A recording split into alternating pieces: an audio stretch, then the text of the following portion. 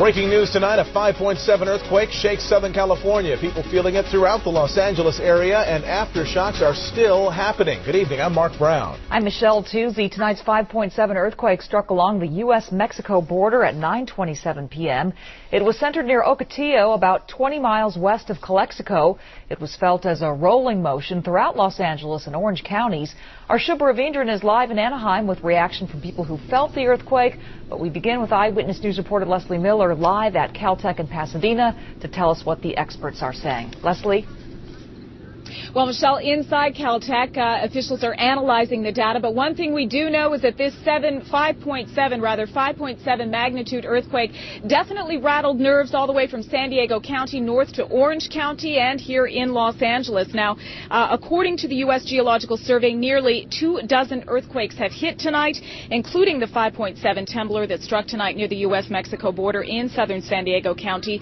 Others ranged from 3.2 to 4.1 magnitude and were also concentrated concentrated in the same general area. So far, there have been no reports of damage, but viewers calling into our newsroom say they felt the rolling of the quake, and others say it lasted for 20 seconds or longer. The shaking tonight even stopped the Toronto Blue Jays San Diego Padres baseball game at Petco Stadium in San Diego. Again, tonight's 5.7 quake was centered five miles southeast of Ocotillo near the U.S.-Mexico border. It struck at 926, and just a short time ago, we spoke to Kate Hutton here at Caltech, who says tonight's shaker was an aftershock from the Easter Sunday 7.2 quake that shook Baja, California. Probably people will be feeling earthquakes through the night occasionally tonight.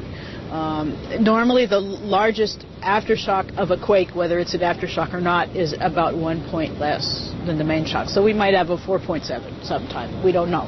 It's all statistics. So even though you're calling it an aftershock, we should still be prepared for what could be the big one.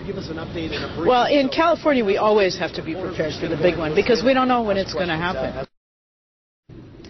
Now, tonight's quake is being called a shallow quake, as most of them are in California. Kate Hutton says that most aftershocks occur on the same fault, but they can also occur on adjacent faults. And right now, uh, she and other officials there in Caltech are trying to uh, study the data to see where this fault exactly is, which fault it is.